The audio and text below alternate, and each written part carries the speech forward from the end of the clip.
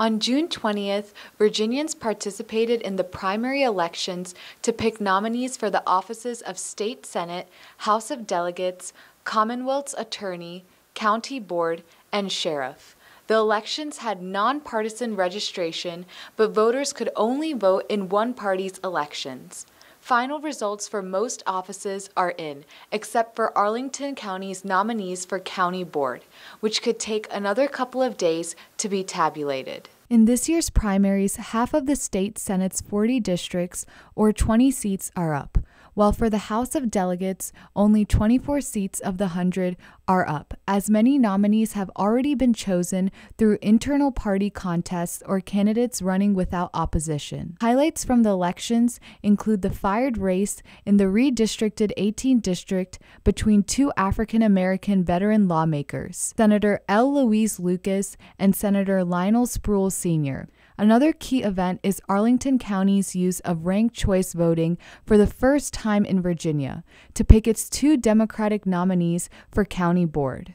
According to WUSA 9 News, some voters in Arlington County found the new 123 ranking easy, while others found the option of voting for more than one candidate and the 33.3% weighting required to determine the top two candidates quite complicated.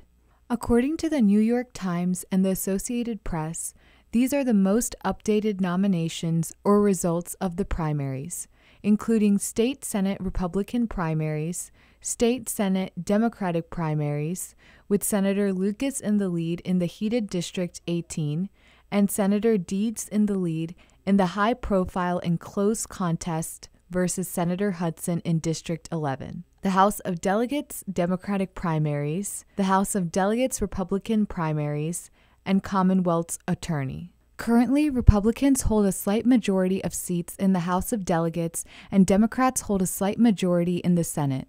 However, with prominent issues such as abortion rights and affordable housing causing division and due to redistricting in Virginia, voters will have to wait till the general elections in November to determine the significant changes produced in the Virginia General Assembly's legislative bodies, specifically pertaining to majority and minority.